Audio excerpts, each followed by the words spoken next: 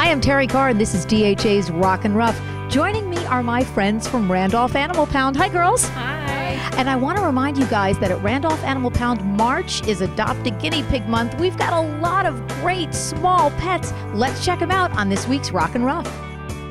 March is Adopt a Rescued Guinea Pig Month. The Randolph Animal Pound now has a small animal rescue program which includes guinea pigs, chinchillas, rabbits, hamsters, gerbils, and more, all that need homes. Meet Blanche. She's a very friendly guinea pig who came from an overcrowded shelter and she'll actually sing for her food and attention. Blanche enjoys playing with toys and interacting with people. Then there's Dusty, the sweetest chinchilla who would make a great addition to any family, and baby Axel, who is a really super friendly guinea pig. Adopt a small animal this month at the Randolph Animal Pound.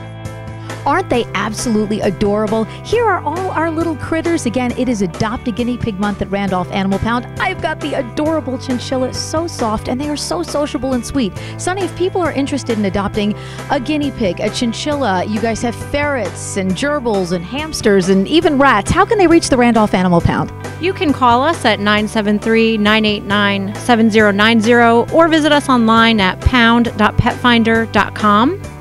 And maybe you don't have the time for a dog or a cat. A small animal is definitely the way to go. They are so cute, they are loving, and certainly need their forever homes. For WDHA's Rock and Ruff, I am Terrie Carr reminding you that any type of animal, opt to adopt.